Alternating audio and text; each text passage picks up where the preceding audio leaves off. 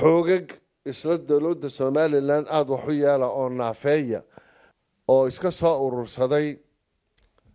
meelahan aynu jaarka nahay wasiirka arrimaha gudaha ee somalilan maxamed kaahin axmed oo ku sugan magaalada laascaanood ee xarunta gobolka sool ayaa sheegay in xoogag is-abaabulay oo ka soo jeeda dalalka somalilan jaarka la ah inay qeyb ka yihiin xaaladda ammaan ee ka taagan gobolka sool gaar ahaan magaalada laascaanood waxaana wasiirku qeybaha kala duwan ee bulshada ku dhaqan magaaladaasi ugu baaqay inay meel uga soo wada jeestaan ilaalinta nabadgelyada iyo sidii ay dib ugu soo celin lahaayeen nolosha. Waxaynu guddigan wada ognahay dhammaan bulshada reer somalilan iyo dhammaan bulshada gobolka sool ku nool sida ay u dhan tahay toddoba iyo labaatankii labiyo tobankii wixii ka horreeyey gobolka sool waxaa ka jirtay xaalad nabadgelyo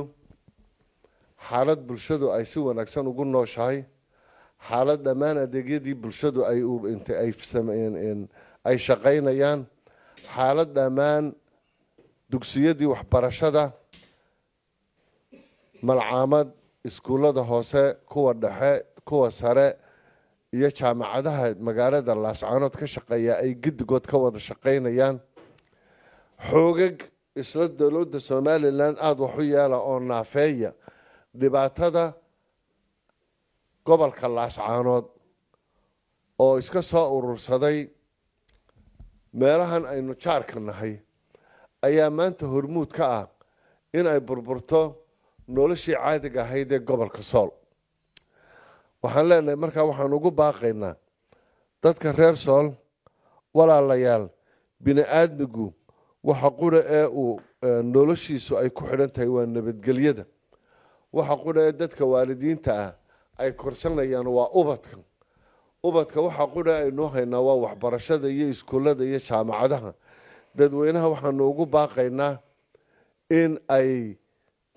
nolosha caadi lagu soo celiyo nabadgelyada caadi looga qeyb qaato ubadkiina inaanay qaxoonti ku noqonin meelo magaalada laascaanood hareeraheeda ah oo caafimaadkooda aan waxba u taraynin noloshooda iyo waxbarashadoodiina la hadhaysa in lagu soo celiyo. Shicibkana waxaanu leenahay dowladda kala qeyb qaata in nabadgelyada lagu soo noqdo dadku ay guryahooda ku soo noqdaan sida war-saxaafadeedka ku qoranna cid kasta oo isleh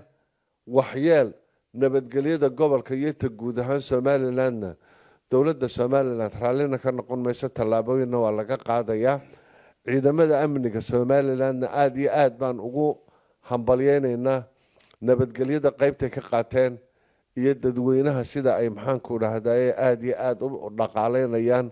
waxaan leenahay markaa xaaladahan oo hore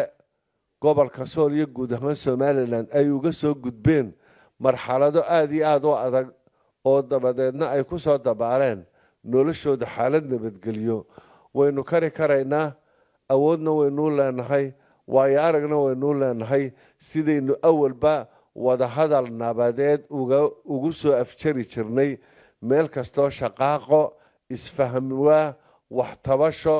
ay ka timaado inaynu maxaanku dhahday sidaynu ugu dhammayn jirnay baynu ugu dhammaynaynaa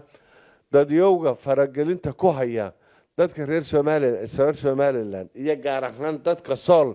midna ka nixi maayaan dhaawaca iyo dhibta ku imanaysa noloshooda iyo kala furnaantooda aada iyo aad baa u mahadsantihiin